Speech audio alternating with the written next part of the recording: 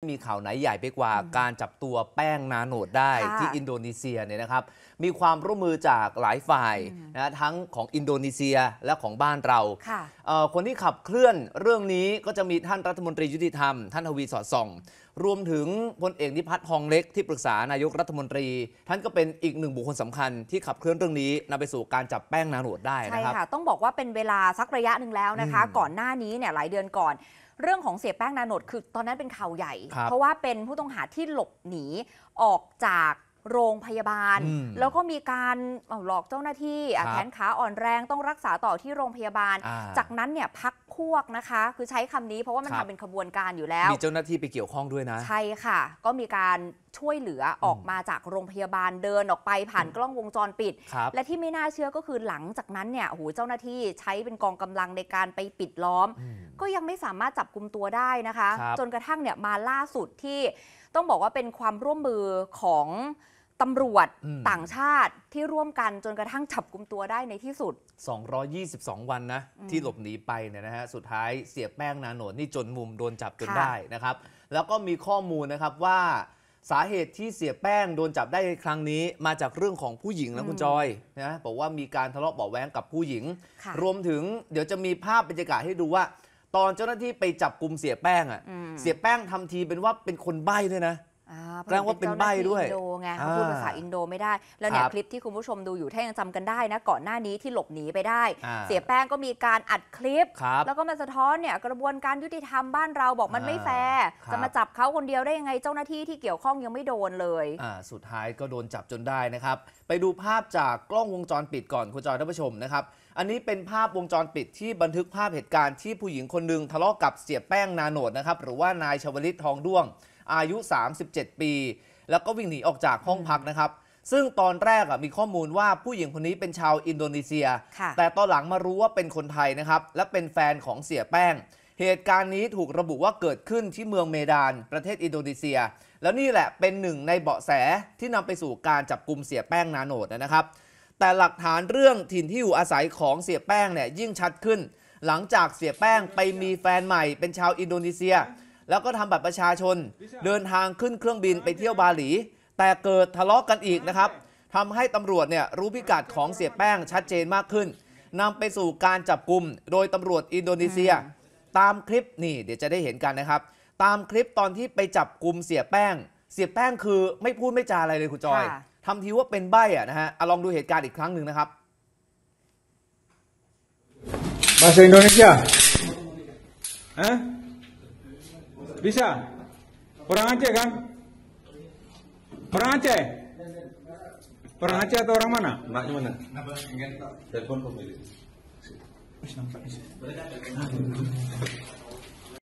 นี่ นิ่งไม่เปิดปากอืมไม่พูดอะไรเลยนะครับ โดยการจับเสียแป้ง เมื่อวานนี้เนี่ยทางพันตำรวจเอกทวีสอดส่อง รัฐมนตรีว่าการกระทรวงยุติธรรมนะครับ ท่านให้สัมภาษณ์แบบนี้ครับว่า คือเชื่อมโยงไปถึงคดีบุกช่วยนายชาวลาชาวอินโด ที่จังหวัดพัทลุงก่อนหน้านี้ ซึ่งช่วงแรกนะครับมีข่าวว่านายชวลาคนนี้เนี่ยถูกจับมาเรียกค่าไถ่โดยบ้านที่พบตัวเป็นบ้านญาติของเสียแป้ง ก่อนจะพบว่ากรณีนี้เกี่ยวข้องกับแก๊งยาเสพติดข้ามชาติ ที่จ่ายเงินค่าไอซ์ไม่ครบนะครับ ก็เลยนำตัวนายชาวลามาเป็นหลักประกัน รอการจ่ายเงินอีก 2 ล้านบาท พบว่าดาบตำรวจหญิงในสังกัดภูธรภาค9เป็นคนขับรถไปรับจากจังหวัดสงขลามาที่จังหวัดพัทลุง แต่พอผ่านไปสักระยะนะครับ ยังไม่มีการจ่ายเงิน นายชวลาก็เลยติดต่อหาน้องสาวที่อินโดนีเซียให้ช่วยเหลือ โดยไม่ได้บอกความจริง แต่อ้างว่าเป็นการถูกจับเรียกค่าไถ่นะครับ น้องสาวก็เลยโอนเงินบางส่วนมาให้ แต่ก็มีการแจ้งตำรวจอินโด จนเรื่องเนี่ยมันแดงขึ้นมา ซึ่งคดีนี้นะครับภายหลังมีการจับดาบตำรวจหญิงมาสอบสวน จนได้ข้อมูลสำคัญที่เชื่อมโยงไปถึงเสียแป้ง ว่ามีส่วนเกี่ยวข้องด้วย และข้อมูลที่ได้จากคดีนี้ก็เป็นอีกหนึ่งเบาะแสสำคัญ ที่ยืนยันถิ่นที่อยู่ของเสียแป้งนำมาสู่การจับกลุ่มนั่นเองอะนะครับ ค่ะ ทีนี้หลังจากมีการจับกลุ่มเสียแป้งเป็นที่เรียบร้อยนะคะ ทางพี่ชายก็คือนายกสิชาติทองด้วง ออกมาเปิดเผยค่ะว่าพอรู้ข่าวเนี่ยยอมรับนะว่ามันมีสองความรู้สึกอืมคือด้านหนึ่งก็ดีใจอีกด้านหนึ่งเสียใจครับคือดีใจคืออะเห็นน้องชาย ร่างกายสมบูรณ์เชียวอืมอะยังคงแข็งแรงดี ครับ ไม่ได้มีการสูญเสียเกิดขึ้น ส่วนเรื่องความเสียใจเนี่ยมาจากความเป็นห่วงค่ะว่า หลังจากนี้พอถูกจับแล้วจะโดนกี่ข้อหา อ่า เพราะน่าจะเยอะไม่น้อยนะคะ ซึ่งหลังจากที่เห็นคลิปของน้องชายถูกจับยอมรับว่ามีบางอย่างที่แตกต่างไปจากเดิมจากครั้งที่เห็นล่าสุด อย่างเช่นอะร่างกายดูกำยำมากขึ้น ผิวขาวมากขึ้น ยืนยันว่า คนที่ถูกจับคือเสียแป้งตัวจริงค่ะอืมพี่ชายบอกว่าจำแผลที่คางได้ เนื่องจากน้องชายเคยประสบอุบัติเหตุก่อนหน้านี้ แล้วก็จำรอยสักที่กลางลำตัวที่ไหล่ทั้งสองข้าง ส่วนรอยสักบริเวณแผ่นหลัง อันเนี้ยพี่ชายบอกตรงเนี้ยไม่คุ้นเท่าไหร่ครับแล้วบอกว่านี่ไม่รู้เหมือนกันว่าเสียแป้งเคยมีธุรกิจในอินโดนีเซียมาก่อนหรือเปล่าอืมแต่ที่แน่ ๆ คือเสียแป้งเขาไม่มีญาติในอินโดนีเซียค่ะ ก็เป็นห่วงเขาอะนะครับว่าไม่รู้ว่าเอ่อเอามาดำเนินคดีแล้วจะโดนข้อหาอย่างเนี้ยครับครับ แล้วทีนี้ตอนที่เราเห็นก็คือร่างกายแกเห็นสภาพแกตอนนั้นที่คือแกแตกต่างไปจากเดิมที่เจอครั้งล่าสุดหรือว่าเจอในข่าวล่าสุดที่ประเทศไทยนะครับ ก็ตอนนั้นดูข่าวกับไอ้ปัจจุบันที่ดูในในข่าวที่ล่าสุดนี้นะครับก็รู้สึกว่าเขาสมบูรณ์ดีมันเป็นเป็นแบบที่แป้งตัวจริงไหมหรือตัวปลอมตัวจริงนะอืม เราดูจากตรงไหนบ้างครับพี่รอยสักแล้วก็หน้าตาเขาอะไรเนี้ยครับคือความสัมพันธ์เราเป็นพี่กับน้องอะไรเนี้ยเราก็เรารู้แล้วว่าเขาใช่ครับเห็นถามหน่อยที่ที่ผ่านมาตอนที่แกหายตัวไปมีติดต่อหรือประสานทางเรามาบ้างไหมครับ ไม่มีเลยครับ ส่วนประวัติของแป้งนาโนดนะครับเขาเป็นชาวตำบลท่าแคอำเภอเมืองจังหวัดพัทลุงทำอาชีพเปิดอู่ซ่อมรถในพื้นที่ตำบลท่าแคนะครับเป็นอู่ชื่อดังที่คนพัทลุงเนี่ยรู้จักกันเป็นอย่างดี ก่อนหน้านี้นะครับเคยลงสมัครสมาชิกสภาองค์การบริหารส่วนจังหวัดพัทลุงเมื่อปี 62 ด้วยนะครับ ก่อนจะกลายเป็นนักเลงผู้มีอิทธิพลในพื้นที่ ส่วนการรับตัวเสียแป้งมาดำเนินคดีที่ไทยนะครับ พันตำรวจตรียุทธนาแพรดำรองอธิบดีกรมสอบสวนคดีพิเศษ รักษาราชการแทนอธิบดีกรมสอบสวนคดีพิเศษนะครับ ท่านบอกแบบนี้ว่า วันพรุ่งนี้ 1 มิถุนายน พันตำรวจเอกทวีสอดส่อง รัฐมนตรีว่าการกระทรวงยุติธรรมนะครับ และคณะทำงาน เช่น ตัวแทนจากกรมสอบสวนคดีพิเศษสำนักงานตรวจคนเข้าเมือง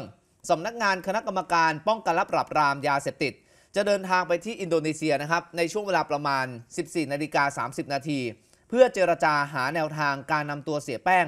กลับมาดำเนินคดีที่ประเทศไทย เบื้องต้นทราบว่าเสียแป้งนะครับ อาจมีความผิดเกี่ยวกับเรื่อง การปลอมแปลงเอกสาร หนังสือเดินทาง เข้าไปยังอินโดนีเซีย และข้อหาทำร้ายร่างกายผู้หญิง ซึ่งตอนนี้อยู่ระหว่างการรอความชัดเจนนะครับว่าทางการอินโดจะดำเนินคดีหรือไม่ หากดำเนินคดีก็อาจจะต้องใช้เวลาอีกสักระยะ จึงจะสามารถคุมตัวเสียแป้งกลับมาที่ไทยได้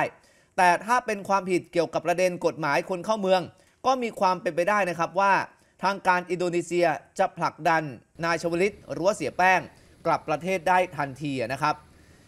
ด้านพลตำรวจโทภาณุรัตน์หลักบุญ เลขาธิการสำนักงานคณะกรรมการป้องกันและปราบปรามยาเสพติด หรือปปสนะครับ ซึ่งเป็นหนึ่งในรายชื่อของคณะที่จะเดินทางไปเจราจากับอินโดนีเซีย บอกแบบนี้ครับว่า ส่วนตัวเนี่ยยังไม่มีข้อมูลในประเด็นการเจราจานะครับ แต่สาเหตุที่ปรากฏชื่อท่านร่วมเดินทางไปด้วย เพราะเสียแป้งเป็นนักโทษในคดีที่เกี่ยวข้องกับยาเสพติด จึงต้องร่วมเข้ารับฟังการสอบสวนนะครับ เนื่องจากว่าอาจจะมีข้อมูลที่เกี่ยวกับเครือข่ายยาเสพติดที่ตัวเองต้องมาขยายผล ดำเนินคดีต่อนั่นเองนะครับซึ่งการจับกลุ่มเสียแป้งครั้งนี้นะคะหนึ่งในบุคคลที่มีส่วนสำคัญในการจับกลุ่มเสียแป้งนอกเหนือจากคุณทวีสอดส่องแล้วยังรวมถึงพลเอกนิพัฒน์ทองเล็กนะคะที่ปรึกษานายกรัฐมนตรี และท่านก็เป็นอดีตปลัดกระทรวงกลาโหม มีส่วนอย่างยิ่งในการประสานงานกับทางการอินโดนีเซียนะคะแล้วก็ทราบเบื้องลึกถึงการจับกลุ่มเสียแป้ง เราไปสอบถามรายละเอียดกับท่านนะคะ อยู่ในสายกับเรา สวัสดีค่ะ สวัสดีครับเอ่อ สวัสดีครับ คุณจอยคุณอาร์มครับ สวัสดีครับ สวัสดีค่ะอะพลเอกนิพัฒน์คะเข้าใจว่าท่านเนี่ยรวมถึงทางการไทยมีการประสานกับทางการอินโดนีเซียมาโดยตลอดเลย ระยะเวลาในการประสานนี่นานหรือยังคะรายละเอียดเป็นยังไงบ้างคะเอ่อขอบคุณนะครับ ที่ชวนพูดชวนคุยตรงนี้ ผมขออนุญาตดีไปค่ะตั้งต้นที่วันพฤหัสที่แล้วนะครับค่ะเมื่อวันที่ 23 ตอนดึกๆเนี่ยท่านทวีท่านรัฐมนตรียุติธรรมก็จะโทรมาหาผมนะครับ ว่าเขาเอ่อท่านได้ข่าว ทีมงานของท่านนะได้แจ้งมาว่าแป้งนาโนดเนี่ยอยู่ที่จังหวัดเมดานอืมในอินโดนีเซีย ขอให้ผมช่วยประสานงานกับทางอินโดนีเซียให้ด้วยค่ะครับ เพราะผมเคยไปปฏิบัติหน้าที่อยู่ที่จังหวัดอาเจ ในอินโดนีเซีย ซึ่งใกล้ๆกับเมดานอืมแล้วผมก็ได้รู้จักกับผู้ใหญ่ของอินโดนีเซียนะครับ ซึ่งวันรุ่งขึ้นเนี่ยท่านทวีก็ขอให้ผมเดินทางเลยครับ ผมก็เดินทางไปพร้อมกับรักษาการอธิบดี DSI แล้วก็ทีมงานอีกสามคน ไปที่จาการ์ตา ได้เข้าไปเยี่ยมคำนับท่านอดีตรองประธานาธิบดีอินโดนีเซียชื่อยูซุฟคัลลาอืมซึ่งท่านเองก็รับทราบข้อมูล เราป้อนข้อมูลให้นะครับ รูปถ่ายชื่อ รวมทั้งพฤติกรรมต่างๆ ที่ให้กับท่านไป ท่านเรียกผู้แทน ผู้บัญชาการตำรวจอินโดนีเซียมาพบทันทีที่ค่ะโรงแรม ซึ่งเมื่อแลกเปลี่ยนข้อมูลกันแล้วเนี่ยนะครับ งานมันก็เริ่มนับหนึ่งได้เลยอ่าตำรวจเนี่ยครับเขาก็มีวิธีการของเขาตรงนี้ แล้วท่านก็กำชับนะครับท่านยูซุฟคาร่าก็กำชับว่าถ้าไม่ได้ตัวไม่ต้องเลิกภารกิจนี้อ่าฮะอืมนะครับ นั่นแปลว่าก่อนหน้าเรานี้ทางการไทยนี่ไม่ทราบมาก่อนเลยว่าเสียแป้งไปอยู่ที่อินโดถูกไหมฮะเพิ่งจะรู้เมื่ออาทิตย์ที่แล้วนี่เอง ครับทีมงานของท่านทวีเป็นคนที่กำหนดนะครับ แล้วว่าตีวงมาว่าอยู่ที่เมดานตรงนี้อืมค่ะซึ่งความเป็นไปได้เนี่ย ถ้าทั้งสองท่านนะครับ คุณอาร์มกับคุณจอยดูแผนที่เนี่ยครับภาคใต้ของไทยฝั่งอันดามันเนี่ยสตูลเนี่ยนะครับ ถ้าออกทะเลไปแล้วเนี่ย ใช้เวลาเดินทางทางเรือนะครับสบายๆสักสามชั่วโมงเองนะครับ ก็จะครับถึงจังหวัดเมดานค่ะที่แป้งเอ่อไปกบดานอยู่ที่นั่นอืมเรามาเอ่อวันรุ่งขึ้นนะครับ เราก็บินไปที่เมดานกัน แล้วก็ท่านทวีก็บินจากกรุงเทพไปเจอกันที่เมดานครับเราได้พูดคุยกันนะครับตำรวจของเมดานแล้วก็ตำรวจที่มาจากจาการ์ตาก็เริ่มวางแผน เอาจิ๊กซอว์ต่างๆ มาประกบประกอบกันอืม ก็ชัดขึ้นไปอีกนะครับอืมว่า อยู่บนคอนโดแท่งนี้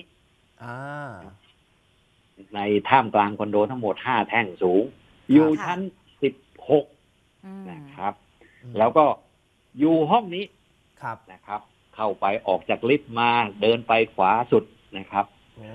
วงพิกัมัดนชัดแคเจบนลงอืมครับ เราก็หาองค์ประกอบอื่นนะครับ ว่าเขาใช้ชีวิตยังไง ปรากฏว่าแป้งเนี่ย ไม่สามารถพูดภาษาบาซ่าได้ ใช้เอ่อโทรศัพท์มือถือ Google Translate เนี่ยนะครับอ่าอ่อ่ในการพูดคุยกันเขาติดต่อกับใครเขาซื้อข้าวซื้อของที่ไหนเขาเอาเงินมาจากไหนยังไงครับตำรวจอินโดนะครับทำให้ประกอบกับหลักฐานของฝ่ายดับครับนะครับ ตรงนี้เมื่อชัดขึ้นมาก็ตัดสินใจตรงนั้นท่านทวีก็บอกว่า โอเค เข้าที่หมายครับนะครับ ก็เข้าไปแล้วก็พบไม่พบอะไรนะครับ ในสองห้องที่กำหนดไปนั่น งั้นแสดงว่าเขาไม่อยู่แล้วค่ะอืมครับ แต่เคยอยู่ ตรงนี้อ่าก็ชื่นใจ แล้วก็หลักฐานอื่น ๆ ก็ประกอบมาอีกนะครับ ว่าเขาติดต่อกับผู้หญิงคนหนึ่งที่อยู่ในตลาดที่เมดานนะครับ ชื่อนี้ชื่อนี้ชื่อนี้ทำธุรกิจขายมือถือ แล้วก็เป็นเพื่อนสนิทที่มาช่วยเหลือพาออกไปเอ่อดำเนินชีวิตต่าง ๆ เหล่านี้ทางตำรวจอินโดได้ตัวผู้หญิงคนนี้มาอืมใช่ไหมครับ มันก็แน่นเข้าไปอีกอืม ตำรวจของเรานะครับ ที่เอ่อดูแลคดีนี้อยู่อะไรอยู่หมดเนี่ยเอาหลักฐานของผู้หญิงคนไทยครับที่บินจากเอ่อกรุงเทพครับ ไปที่เมดาน อันนี้ตรวจสอบได้ครับทางตม.นะครับ ใช้พาสปอร์ตจริง มีวันเวลาเดินทาง เอามาประกอบกันอะไรกันครับก็ข่าวมันก็แน่นขึ้น แล้วก็เอาละครับเอ่อ สิ่งที่ทางตำรวจอินโดรับปากก็คือว่าจะจัดการให้นะครับ เพราะว่าไม่ยากอืมนะครับ สิ่งที่เขาบอกมา เราก็เอ่อกลับมาก่อนนะครับ ผมกับท่านทวีก็กลับมาก่อนส่วนทีมงานท่านทวียังอยู่ที่นั่นนะครับ วันนี้ก็ยังอยู่ แล้วในที่สุดเนี่ยเมื่อวานนี้นะครับ วันพฤหัสใช่ไหมครับวันเช้าพฤหัสผมก็ได้รับโทรศัพท์จากท่านในายพลตำรวจเอ่อของอินโดว่า we got him ได้ตัวแล้วครับ ซึ่งไปได้ตัวที่ที่บาหลีครับอืมซึ่งอ่าเป็นเมืองตากอากาศครับครับภาพที่ปรากฏอยู่เนี่ยครับเขาก็ส่งต่อกันไปนะครับ ลักษณะรูปประพันธ์สันฐานอืมสิ่งที่ทำให้เอ่อพิสูจน์ทราบอะไรในตัวเขาได้ง่าย เรื่องหนึ่งเนี่ย คือรอยสัก